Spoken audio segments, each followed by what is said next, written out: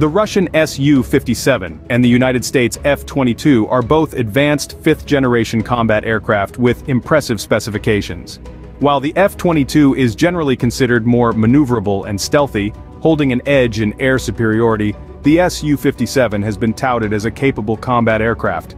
However, the Su-57 absence from significant air-to-air -air combat in Ukraine has raised questions about its effectiveness, and it is often suggested that the F-22 ranks higher in stealth capabilities than the Su-57.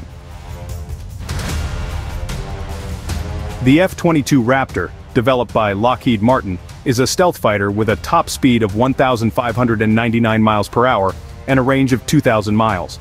It has a 20mm internal automatic cannon and can carry a variety of air-to-air -air and air-to-ground missiles. The F-22 is considered more maneuverable and stealthy, with a proven track record of air superiority.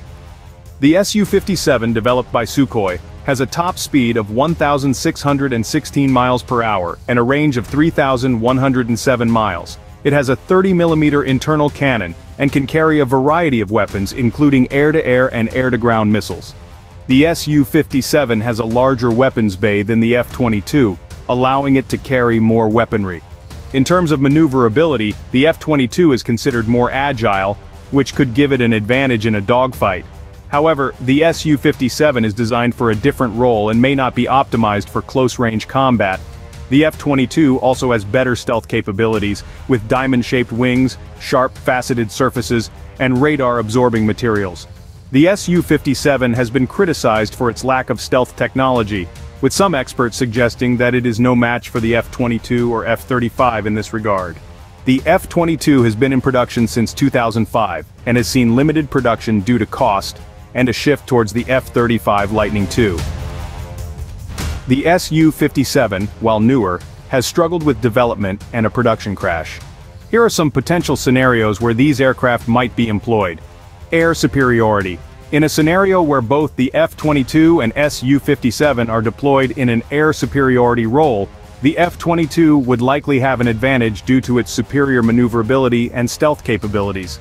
The F-22's emphasis on stealth and maneuverability, combined with its advanced avionics and situational awareness, would give it an edge in this type of combat. Long-range engagements. In longer-range engagements the Su-57 might have an advantage due to its larger weapons bay and ability to carry more weaponry.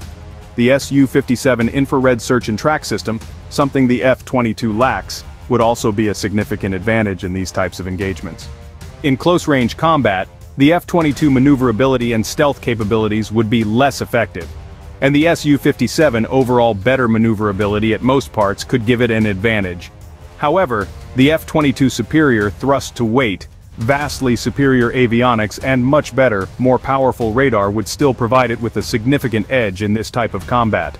Both the F-22 and Su-57 are capable of air-to-ground operations, but the Su-57 larger weapons bay allows it to carry more weaponry, which could give it an advantage in this type of combat. Both the F-22 and Su-57 have electronic warfare capabilities, but the F-22's stealth and superior avionics would make it more difficult for the Su-57 to get a lock on it, giving the F-22 a potential advantage in this area. While both aircraft are impressive, the F-22 proven track record, maneuverability, and stealth capabilities give it an edge in a head-to-head -head comparison. However the Su-57 is a newer aircraft and may have improvements that could potentially change its performance in the future.